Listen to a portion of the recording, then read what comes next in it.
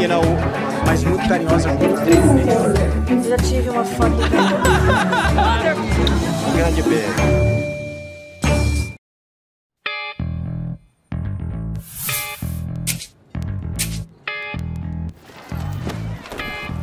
Te mandar real mesmo. Tuas letras são foda, brother. Eu queria que, para começar, vocês contassem por que, que vocês resolveram fazer o filme, para contar a história do Planet Hemp. Uh, eu tenho uma relação com o Marcelo de muitos anos, né? Eu, eu, conheci o Marcelo fazendo os clipes, né? Na verdade é engraçado porque do Planet eu não, eu não fiz clipe nenhum. Eu, eu conheci o Marcelo pós-Planet, logo, logo quando ele começou a carreira solo. E, e a gente acabou com isso, obviamente, trabalhando junto e ficando amigo. E um dia, num papo super informal da vida, literalmente, assim, a gente tava falando da vida, de como cada um tinha, ah, como é que você foi fazer cinema, como é que você, né, tal. O Marcelo, eu sempre soube do Skank, né, ele sempre citou o Skank na, nas, em letras, em homenagens e tal, mas daí pela primeira vez ele me contou esse encontro, né, e o quanto ele, o, é, na época, ele, quando ele começou realmente a deslanchar, embora, não que isso já não acontecesse com o Planet, mas ele, ele se colocou de uma maneira muito bonita no sentido de ele falou uma hora para mim, Johnny, eu não estaria aqui se esse cara não tivesse passado na minha vida, porque eu nunca imaginei fazer o que eu faço. Ele era camelô na época no centro lá do Rio. E o Skank foi o cara que ali, vendo ele vendendo as coisas, escutando, chegou para bater papo por causa de uma camiseta que ele estava usando de banda. E a gente se comunicava muito assim, né? Eu sou contemporâneo. E, e a partir disso ele me falou desse encontro. E isso martelou na minha cabeça durante muito tempo. Né? Puta, que história bonita. Isso aconteceu comigo também de uma maneira diferente, como pode ter acontecido com você, com ele, enfim. Às vezes a gente encontra pessoas na vida da gente que abrem um caminho que a gente nunca imaginou. Então a ideia veio daí. Eu sou da geração MTV, né? Eu assisti o Planet Ramp desde o começo até hoje em dia, na verdade, eles não estão juntos, é, mas eu conheci todo esse tempo. Eu fiquei impressionado com a sua atuação. Eu queria saber como que você construiu é, essa composição. Você conviveu com o D2? É, foi vídeos? Como que você chegou nessa, nesse resultado? Que maneiro. É, não, na verdade foi, foi um, um, um mix assim do, de um tempo possível de convivência de agora procurando muito mais o que ele tinha para me informar daquela época do que uma imagem, junto com vídeos e coisas assim, né? E a apropriação do, dos momentos, das vivências, assim, a apropriação do que era, do que representavam eles naquele momento, assim.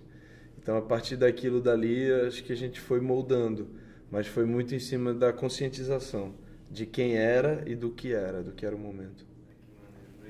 E Ícaro, é, o seu personagem, o Skunk, ele passa por uma transformação visível, né, durante o filme. Como que foi esse desafio, assim, de além de atuar, tem que passar por isso fisicamente também? A gente teve que dar uma emagrecida, né? Os dois deram uma emagrecida, é, assim, para fazer. É, também tem o trabalho maravilhoso da Maria, que é a nossa maquiadora. É, uhum. Mas, de uma forma ou de outra, eu acho que processo que os dois vivem no filme, assim, é muito intenso e muito divertido, né? Então, no geral, foi muito prazeroso fazer, mesmo as coisas difíceis, mesmo as cenas mais densas, assim. Foi muito prazeroso também porque a gente estava entre amigos, muito bem amparados de amigos, assim. A gente tá no ombro, seu A gente não tá no mesmo ritmo. Cara, mas é porque a gente não tá no mesmo fluxo, lembra? Yin Yang, bicho. E o que que a história, quando vocês leram o roteiro, é, encantou vocês? Foi pelo fato de vocês serem fãs da, do, do Planet Ramp ou por, pelo a história mesmo? Que vai além disso, né? Sim, eu, bom, o que me encanta no roteiro é essa essa é uma história sobre amizade, assim, sobre encontro, né, sobre a possibilidade de mudar o seu entorno a partir do outro. É isso que me toca bastante no filme, desde o início.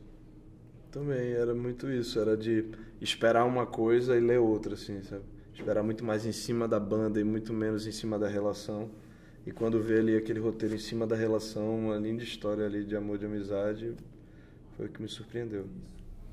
Eu vou fazer uma pergunta que talvez vai soar estranha, mas eu assisti o filme o ano passado na Mostra Internacional de Cinema.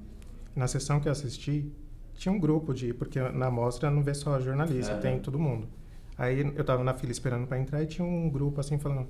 Ah, esses é, é, diretores novos que vivem insistindo em fazer filme para legalizar a maconha. Aí a minha pergunta é exatamente isso.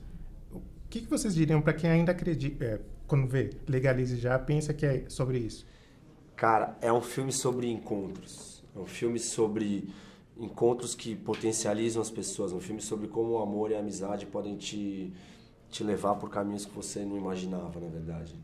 Não, é um filme sobre maconha. É, e, e legalize já, é, claro que tem todo um contexto. é, seria muito é, Hipócrita. hipócrita da nossa parte falar, não, legalize já não tem a ver com a maconha. É claro que tem a ver, porque isso está numa letra do Planet, e, e independente você vê isso pichado na cidade inteira, em outros contextos e tal. Mas o legalize já é legalize já o amor, o seu, direi o, o seu direito de se expressar, o direito que você tem de ser quem você é. Sabe? Eu acho que essa é a mensagem do filme. Se esses dois caras não tivessem acreditado neles, eles não não, isso, nada disso teria acontecido. Se quiser, se quem quiser ver o filme quiser relativar, relativizar o título, que pense na legalização global, na legalização da liberdade mesmo, né? Do. É, das tem muita relações. coisa que devia ser legal, assim, no sentido de devia estar acessível, no sentido de devia ser de todos, que não é. É saúde, educação, segurança, o direito de ir e vir, o direito de ser quem se é. Então o filme basicamente fala disso. Eu acho que as pessoas podem esperar amor, encontro, amizade, porque essa é a parte humana sobre a qual realmente devemos falar, sabe? A gente fica, nos, a gente fica se podando em muitos lugares quando a gente não vive as nossas humanidades de verdade, né? Pessoal do Cecine 10, que bom que tá, estamos tendo essa oportunidade de convidar vocês e espero que vocês possam assistir o Legalize Já. Dia 18 de outubro no cinema de todo o país.